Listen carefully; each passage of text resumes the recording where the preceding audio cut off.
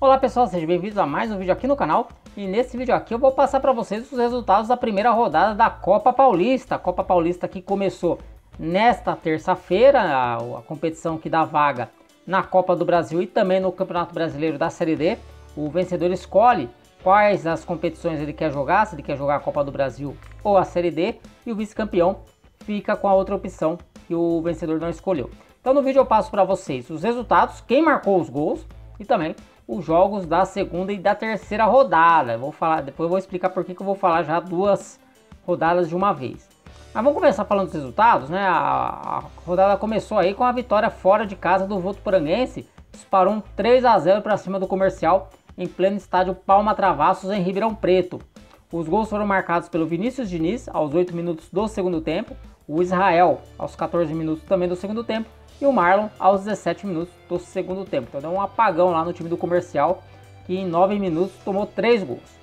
A outra equipe de Ribeirão Preto está na competição, o Botafogo. O Botafogo estreou bem, foi até Rio Claro e bateu o Velo Clube também pelo placar de 3 a 0. O Rafael Tavares abriu o placar aos 42 minutos do primeiro tempo.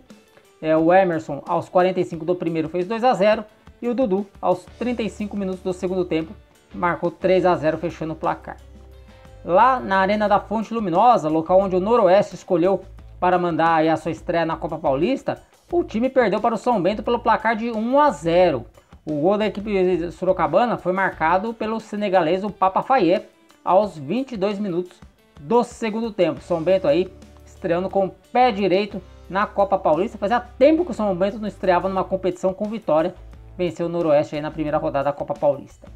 No estádio 1 de Maio, em São Bernardo do Campo, o Esporte Clube São Bernardo venceu o Santos por 2 a 0. O Santos que está aí com uma equipe de aspirantes jogando a Copa Paulista, né? É uma equipe aí sub-20, sub-23 para dar rodagem para os garotos.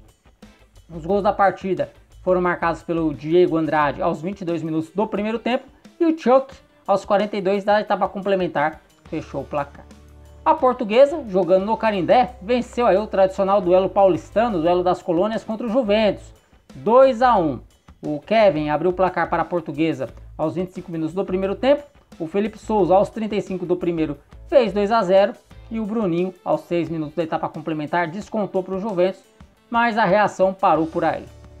Já no Joaquim de Moraes Filho, lá em Taubaté, o Taubaté perdeu em casa para o Atibaia, 2 a 1. O João Pedro abriu o placar para o Atibaia aos 11 minutos do primeiro tempo. O Garcês, aos 32 do segundo tempo, empatou para os donos da casa mas o mascote, isso mesmo, o mascote, aos 44 minutos do segundo tempo, fez o segundo gol do Falcão e garantiu a vitória do time de, de Atibaia na estreia. Em Piracicaba, no estádio Barão de Serra Negra, o 15 de Piracicaba venceu o Rio Claro por 3 a 0. Boa estreia também do 15 de Piracicaba. O Carlos Alberto abriu o placar aos 6 minutos do primeiro tempo, o Franklin aos 10 ampliou e o Lúcio Flávio, em cobrança de pênalti, fez 3 a 0 logo no primeiro minuto da etapa complementar, fechando o placar em 3 a 0. Então esses foram os jogos desta terça-feira da Copa Paulista. A rodada vai ser complementada nesta quarta-feira com um jogo isolado. O Primavera vai receber o São Bernardo. Esse jogo vai ser lá no estádio Ítalo Mário Limonge, na cidade de Indaiatuba. Agora, como eu falei, vou passar os jogos das duas próximas rodadas. A segunda rodada, não estranhe, tem apenas dois jogos mesmo. Isso porque um dos grupos da Copa Paulista tem um time a mais. É, os grupos geralmente são de quatro times, mas tem uma chave que tem cinco times e isso obriga então a ter uma rodada a mais, né? E essa rodada extra desse grupo vai ser disputada já nessa sexta-feira, dia 17, com esses dois jogos. O São Caetano vai estrear na competição jogando na Anacleto Campanella com a Portuguesa. Esse jogo vai ser às 15 horas, né, às 3 da tarde, com transmissão do Paulistão Play e da Eleve. No mesmo horário, o Juventus vai tentar sua recuperação jogando contra o Taubaté, duelo aí de duas equipes que perderam na estreia. Então o Juventus recebendo o Taubaté lá na rua Javari. E aí, a terceira rodada, já com, já com completa, né, com todos os jogos, vai acontecer já na próxima, a partir da próxima terça-feira, aqui ó, vários jogos na, na terça-feira, dia 21 de setembro. O Votuporanguense vai receber o Velo Clube às 15 horas. No mesmo horário, vamos ter aí o Come Fogo, o Botafogo recebendo o Comercial lá no estádio Santa Cruz, em Ribeirão Preto. O Rio Claro vai jogar contra o Noroeste, lá em Rio Claro, também às 15 horas. O São Bento recebe o 15 de Piracicaba no Walter Ribeiro, também às 15 horas. Vamos ter outro duelo regional aí, hein? O São Bernardo vai encarar o São Bernardo, né? O São Bernardo Futebol Clube, que é o time mais novo da cidade, pega o Esporte Clube São Bernardo, que é o time mais tradicional. Jogo às 15 horas lá no estádio 1 de maio. O Santos joga contra o Primavera. Esse jogo vai ser lá na Vila Belmiro às 15 horas. O Atibaia joga contra o Juventus.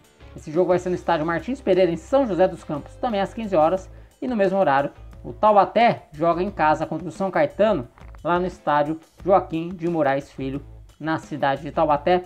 Então esses aqui são jogos já da terceira rodada da Copa Paulista. Na verdade é a segunda rodada para a maioria dos times, né? Mas como teve aquela rodada extra, aquela rodada extra que ficou marcada como segunda rodada, então oficialmente esses jogos são válidos pela terceira rodada. Bom pessoal, então essas as informações que eu tinha para trazer para vocês. Espero que vocês tenham gostado do vídeo. Se gostou, deixa o like e deixa nos comentários aí se você quer que eu fale mais, né? Se vocês querem que eu fale, traga mais informações a respeito da Copa Paulista. Por enquanto eu vou ficando por aqui. Um forte abraço a todos vocês e até um próximo vídeo. Valeu!